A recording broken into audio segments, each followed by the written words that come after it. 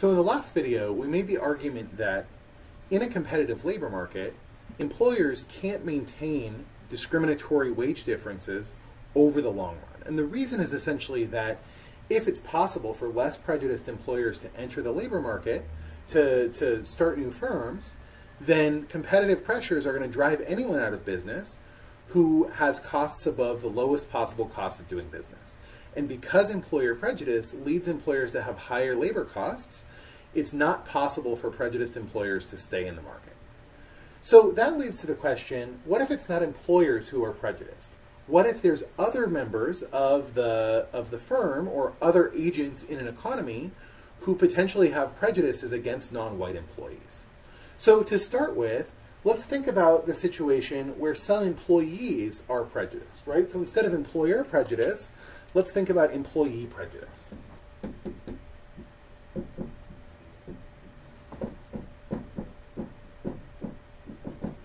And to begin with, I want to think about a very, very simple version of this. So we could imagine that in the real world, you have a variety of different opinions held by white and non-white employees about race. In this world, I'm going to say that we have a couple things. We have all white employees are prejudiced to the exact same degree.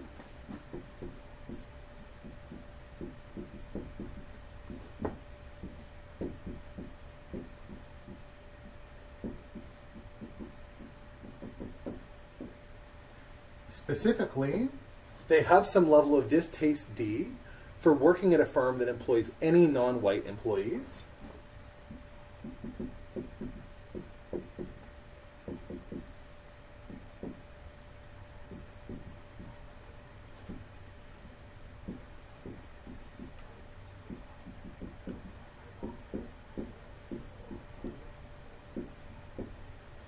And third, that non-white employees are completely unprejudiced.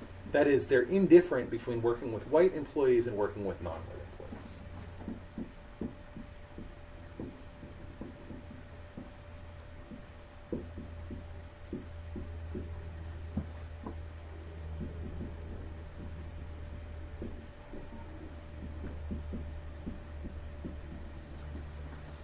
And I should say these are much stronger assumptions than we're going to need to make the, the argument that's going to come from this.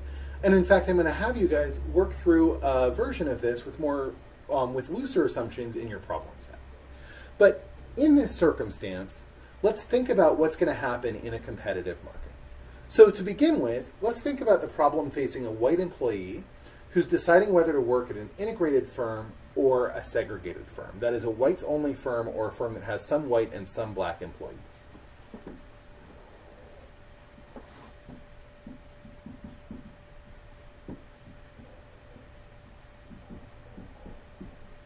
Think about the white workers problem. So if you're a white worker and you're considering whether to work at an integrated firm or a segregated firm, and you're prejudiced against non-white employee, non-white coworkers, you're only going to be willing to work at the integrated firm if the wage that you receive at that integrated firm is sufficiently high to overcome your prejudice. In other words, you'll only work at the integrated firm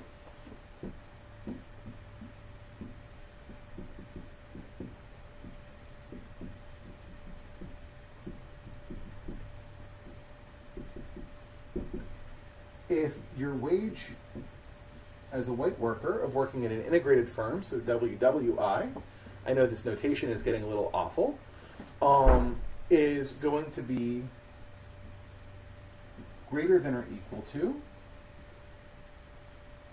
I'll do it, sorry, WWI minus D, right, because you're facing a distaste for working with non-white coworkers, is greater than or equal to WWW. In other words, your wage as a white worker of working with only white workers. In other words, we're going to need to have an integrated wage that's greater than the segregated wage by an amount D. This makes sense? So if this isn't true, it's just not going to be in the white workers' interest, given their level of prejudice, to work with non-white coworkers. And of course, because non-white coworkers, because non-white workers are not prejudiced, we're not going to think about the dynamics of their decision because they're indifferent between working at a, firm that has white coworkers or not. So now that we've thought about that, let's consider the decision of the firm, right? So if you're a firm that employs white employees and black employees, and you don't care at all about which kinds of employees you're working you're employing, what has to be true of wages? So if you're a firm who could employ white employees, could employ black employees, and they're exactly as productive, right? So your profits for white labor and black labor, right, are just going to equal your revenue minus your costs, which is going to be the white wage times white labor, black wage times black labor. Well, we know that white and black employees are equally productive, so you're only going to hire both white and black employees if the wage you pay white workers is exactly the same as the wage you'd pay black workers, right? In other words, if the wage that you pay a white worker in an integrated firm has to equal the wage that you pay a black worker. But if this were true, from here, we would know that the wage you would pay a white worker at a segregated firm would have to be less than the wage you pay a black worker, right? So we'd say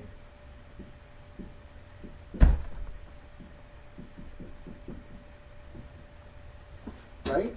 A white worker at a segregated firm is willing to, to earn less than a white worker at an integrated firm, which we said would have to be equal to the wage of a black worker in an integrated firm. And if this was true, then a profit maximizing employer who doesn't actually care about the race of their employees would only hire white workers.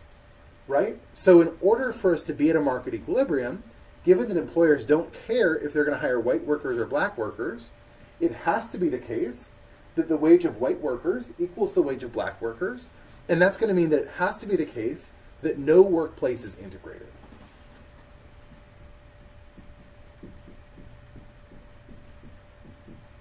So what we're going to end up with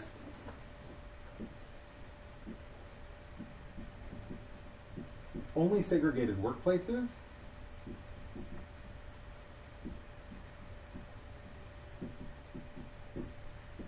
and a white wage that is equal to the black wage or the non-white wage.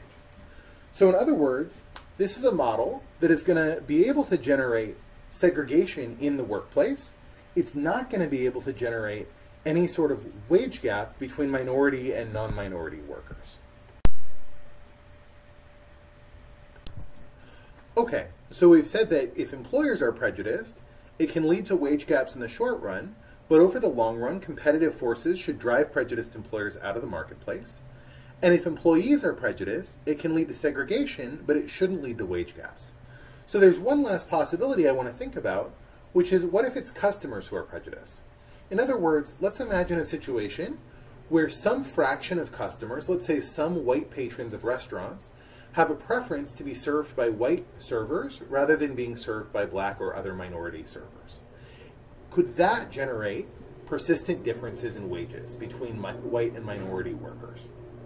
Well, the important thing to note here is that from the perspective of the firm, if a customer is willing to pay more for a meal served by a white worker than for a meal served by a black worker, from the firm's perspective, the white worker is more productive in that job than a black worker. In other words, that firm is going to be more profitable by hiring a white worker for, for a certain wage than they are by hiring a black worker. And as a customer, the customer isn't going to face any competitive pressures to change their perspective. They might have to pay more for meals because of their prejudice, but that's not something that can drive them out of the restaurant market. So as a result, what we're going to conclude is that if you're a firm that faces that has prejudiced customers, and those prejudiced customers have a preference for one type of worker over another, let's say white workers over non-white workers, then your profit maximizing choice is going to be if it if it's the case that wages are the same for white versus non-white workers, you're going to hire white workers. So is that going to generate persistent differences in wages by race? Well, it really depends on how many jobs have this sort of customer discrimination. So we can think about this as effectively the same as the way we thought about employer discrimination. In other words, we can make a graph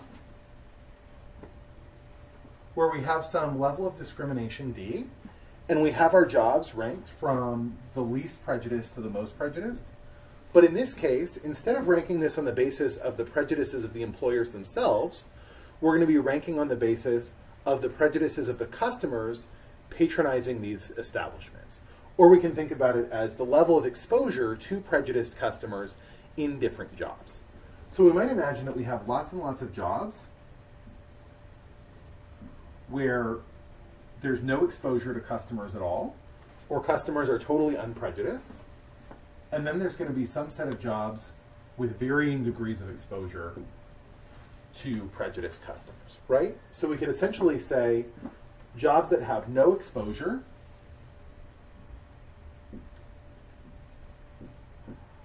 I'll call not customer facing.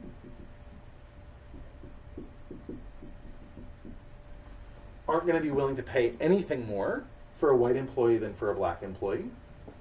And customers that and, and jobs that are customer facing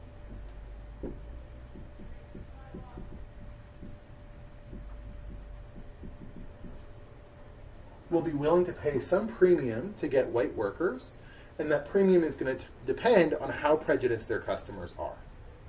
So whether we're going to end up with a gap between white and black wages is going to depend on how many black workers there are relative to how many jobs are customer facing and face prejudiced customers.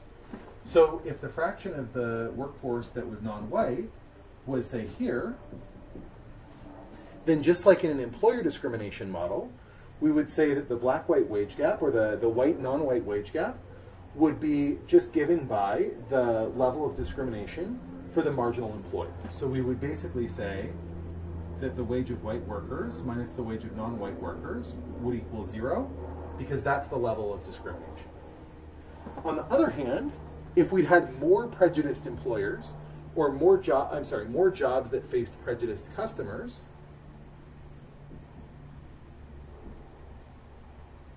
So let's say instead we had something like this, and our P star was here.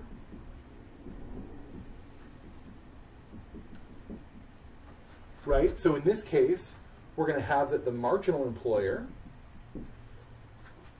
is going to face prejudiced customers. Then we would have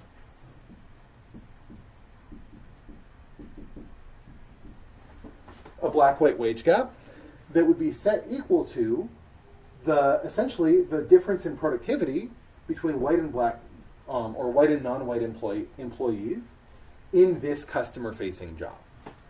So another thing to ask here, when are we going to have fully segregated workplaces and when won't we? Well, in this case, where the black-white wage gap is zero, all of the jobs that are customer-facing and face prejudiced customers are going to be white only.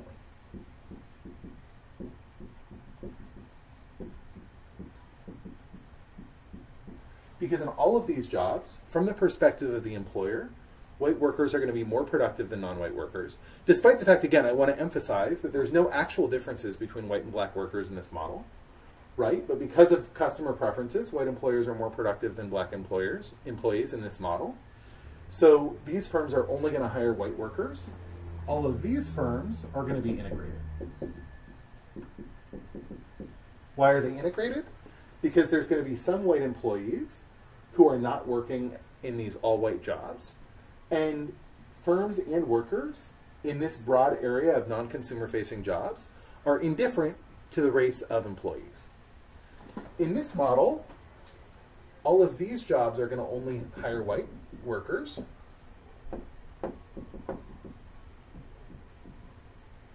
Because the difference in productivity, again generated by, by customer prejudice, is going to be larger than the wage gap in these jobs.